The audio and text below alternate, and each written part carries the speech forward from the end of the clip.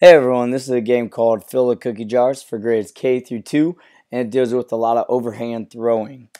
For this game, first thing you're going to need is two teams. So we have the blue team, we have the yellow team, and you're going to need some type of boundary line that separates the teams in the middle. Same thing you're going to need are some dodgeballs or tennis balls even. Um, fleece balls would work and these are going to be our cookies for this game.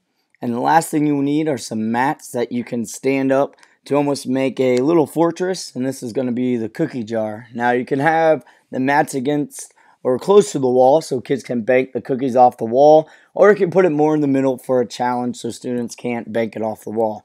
Before the game starts, you're going to want to put a couple students in the jar, depending on how big your cookie jar is, will depend on how many students you can put in. So then when the whistle blows, students are going to run over, find any cookie that they can, and hopefully toss it so it ends up right in the cookie jar, just like that.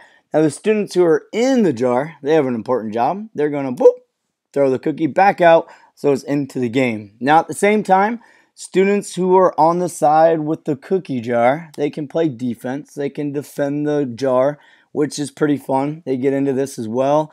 And same thing. So a student grabs a cookie, they throw it over, he can catch it, and then they throw it back to the other side. That's all for this game. Hope you guys enjoy it. Again, this is Fill the Cookie Jar for grades K2. Thank you.